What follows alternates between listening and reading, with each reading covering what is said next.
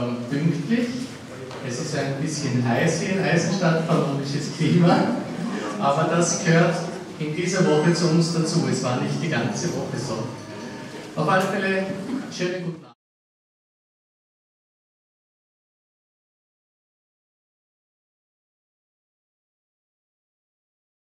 Thank